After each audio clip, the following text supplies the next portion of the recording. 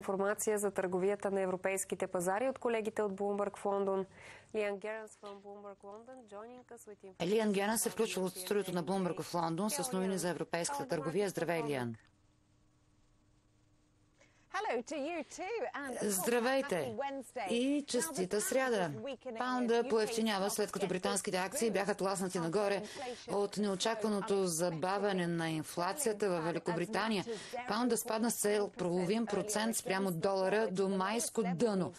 След като потребителските цени записаха 6,7% ръст, по-малко от очакваните 7%.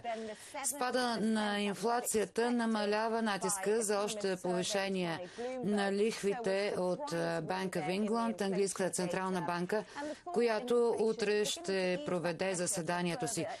Британския индекс на местните акции FTSE 250 се повиши с процент и половина.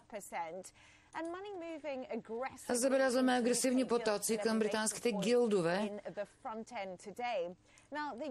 Юросток 600 се повиши с 6% и записа първи ръст от 3 дни, воден от недвижимите имоти и здравеопазването, а енергийните акции се понижиха. ФУЦИ 100 се повиши с 0,7%.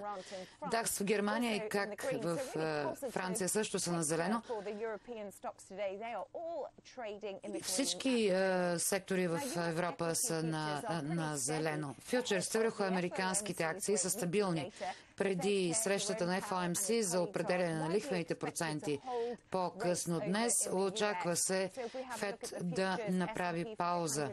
Фьючерсите върху S&P 500 се повишиха с 20%, фьючерсите на NASDAQ 100 се повишиха със същия процент. Нещата изглеждат доста приглушени на Уолл Стрит. Спот индекса на Блумбърг за долара е без промяна. Брент започва да се охлажда и падна под 94 долара за барел след неотдавнашното рали, но цените все още са близо до 10-месечния връх. Високите цени на горивата осложняват борбата на централните банки с инфлацията. ФЕД заседава днес, след това ще говори Джерам Пауъл, и ние ще ви кажем всичко на терминала на Блумбърг. Bank of England ще заседава утре, в четвъртък и Bank of Japan ще решава за лихвите в петък. Така че бурята на централните банки, ние ще ви кажем всичко, когато се случат новините. Приятен ден! Thank you very much for this information, Liam. Лиан Геренс от Bloomberg в Лондон с информация за търговията на европейските пазари.